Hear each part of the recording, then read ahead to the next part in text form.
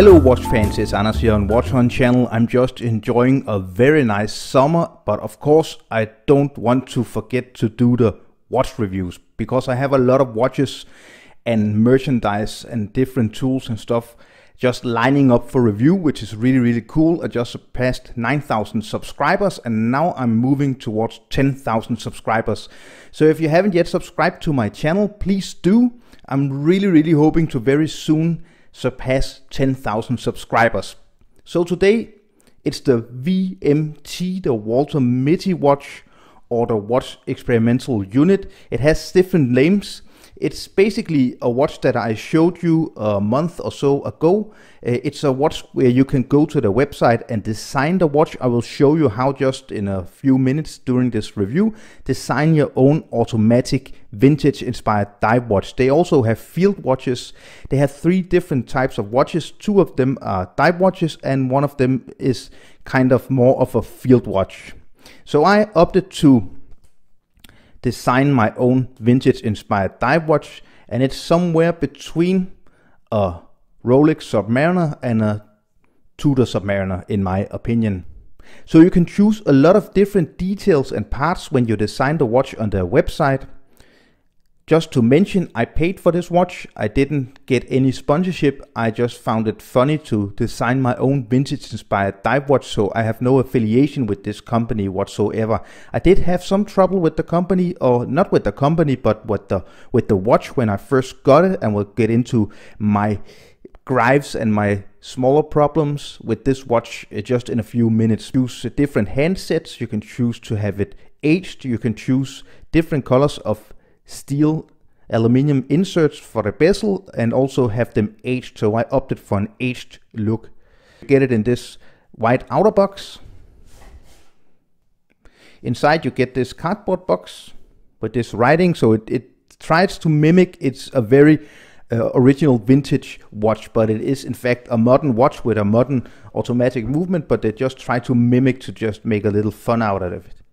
So watch experimental unit, the Royal Marine watch. As you can see, I bought it on the 25th of May 2019. I got it. I had the problems with um, which I'm coming into uh, explaining about just in a few seconds, uh, and uh, then I sent it back. So just a little manual. The movement is the Miyota 821A, which is an automatic hacking hand winding and date movement. It has an accuracy of minus 20 to plus 40 seconds a day, which is uh, perfectly acceptable within these uh, kind of movements. And I will also do a, a check a check on my time grapher to see how accurate it actually is. Because when I first got this watch, it was extremely inaccurate. So you also get uh, a couple of extra spring bars and a spring bar tool. That's about it. So I also show you the whole packaging in my first initial video. 39.5 millimeters, so just short of 40, including the crown. 43. Very nice thickness of 12.5 to 13 millimeters. Lug width of 20. Lug to lug of 47. So all in all, classic dimensions for Tudor and Rolex Submariner watches. It comes on a thick Italian made leather strap, which is branded with the Watch Experimental Unit. It's a Hong Kong based company. This watch cost me around 440 US dollars. The basic price is $410 and then whatever you choose for strap or bracelet and if you want it aged and all the different details you choose, then it can go up in price. If we look at the case back, watch experimental unit, 1358, that's probably the number of watches that they produced within this line of the three different watches they produce. So stainless steel, it's a sapphire crystal. I believe it has an AR treatment, this dome sapphire crystal, because it really looks uh, very legible and it's easy to read the time in sunlight and lighting situations. The bezel action is absolutely amazing. It has absolutely no play. It feels really, really good. It's a kind of more metallic click than you would expect on a real Rolex, but it just feels really, really good. It's a 120 click unidirectional bezel insert. It has the numbering, it's aged, as I said. It's very easy to grip because of this coin edge, and it also protrudes the case, so it's very easy to grip. They really did a great job with this one. And also the old school kind of applied lume pip at 12 o'clock. Here you can see the distortion. Even from this angle, it's very, very easy to read. Signed crown. Polished sides, brushed, very lightly brushed lugs. You can get it completely unbranded without any writing on the dial, which just makes it a little more anonymous. And because you can choose the different types, as I will just show you now, of dials and hands, I opted for these kind of short hands and the lollipop second hand, you get your own very unique kind of non-homage watch. It is an homage because the whole design of the case and the bezel and whatever is very Rolex or Tudor Submariner-ish.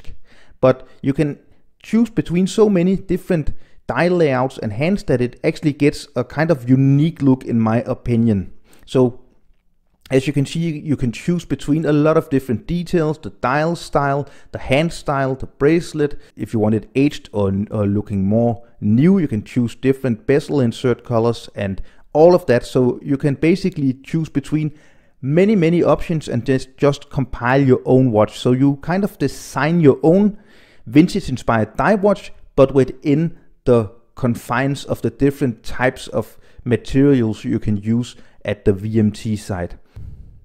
So getting into the problems I had with this watch initially when I got it in June, I ordered it on the 25th of May 2019 as you can see and I got it in June and then I had some problems. I contacted the company right away. They answered me within minutes. It was very professional. I explained that I had a problem with the watch and they said send it back and we will fix the watch.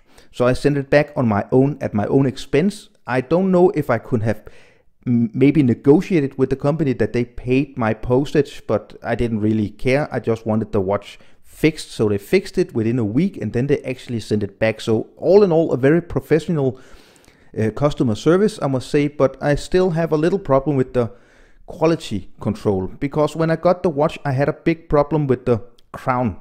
So it's a screw down crown. This watch is water resistant to 100 meters. I had the problem that it didn't really make the clicking pop. It still doesn't, but the problem was when I wanted to manually wound the watch. Then it it actually just threaded in automatically and this just screwed back so I wasn't actually able to manually wound the watch as I do now. They fixed the problem. And that actually meant that you had to shake the watch to move the rotor to get it to get it to wind and that's not what I want with a, a watch with a movement which is actually with the ability to do manually winding because I'm of course not going to wear this watch every day I'm going to wear this watch occasionally because it's just a fun vintage, vintage inspired watch with, with, my own specifications. And then it's a really big help to just pick up the watch and just manually wound it. And when it's fully wound, you get 42 hours of power reserve. So also a big problem was the accuracy. So this watch was off 97 seconds a day, so more than one and a half minute per day. It was horrible, horrible, horrible. And remember the specifications for this Miyota 821A movement is minus 20 to plus 40 seconds. I explained the problem with the crown and the inaccuracy and they said, well, that's probably the same problem. It's probably because of the crown that is inaccurate. So I don't know if that's true, but I sent the watch back and they fixed it. And let's just look at the accuracy here. As you can see, it's much better now. They de definitely handled the problem very professionally. I'm still annoyed that they don't do uh, a very high quality control because you don't want to buy a watch and send it back a few days after you get it because it's inaccurate and the crown isn't working. But that's what happens with smaller watch companies. So let's just see how it wears on my 18 centimeter wrist in circumference. As you can see, this is a perfect size. It's just like a Rolex Submariner I used to own the no date sub and it's just like wearing that watch. So getting into my different uh, gripes besides that the first off quality control wasn't good enough. Let's just have a look at the lume. As you can see the lume isn't very bright. I don't really know what kind of lume they applied to this watch but the lume isn't very bright. That's definitely not good enough and especially with the hands it's it's it's just not good enough. You can definitely see the lume with the with the minute and hour markings, but definitely not the hands. So don't expect a lume monster if you're going to buy this watch. I also, I'm not quite comfortable with the leather strap. The quality is quite okay, but it's simply too thick and it's too stiff when you get it. I don't want to wear a watch for weeks and weeks and weeks when it's this kind of watch and not a very expensive Swiss watch, for example. I don't want to spend weeks breaking this watch in, wearing it on my wrist so it can absorb the oils and the sweat from my wrist to really soften up. I want a soft strap right away or just after a few days of breaking in. So this is kind of mostly a fun piece. It's a gag. It's something to just enjoy because it just resembles an a very old die watch from Rolex or Tudor. It is on the more expensive side because you can easily get an Orient, uh, maybe a Kamasu or a Mako free. You can get that at a half the price of, of this watch. But I really like to think to think that I just chose whatever kind of watch I wanted. So that definitely makes this watch a more personal watch for me than just buying off the shelf one of the professional designed watches. So that's definitely the fun side of this watch, and that's why I bought it. I wanted a fun kind of vintage inspired beater diver watch. All in all, I'm very happy after all, after all the trouble with the lacking quality control, the problem with the crown and the accuracy. So all in all, I can definitely recommend if you can always go and design your own watch and you don't have to buy it, you can just go and play around and design and at some point you maybe just hit the right combination of all the things you can do with this watch and then you can order it. But uh, all in all, a fun watch I'm going to enjoy. Not a high end luxury watch, a little on the expensive sides when you look at the specifications, but all in all, a fun watch. I hope you enjoyed this review of the WMT own design watch. If you enjoyed it, please remember to give me a thumbs up, leave me a comment down below, follow me on Instagram and Facebook. You can find all the links in the description of this video. You can also find the link to the website where you can go and design this watch. And of course, subscribe. Thank you. Bye.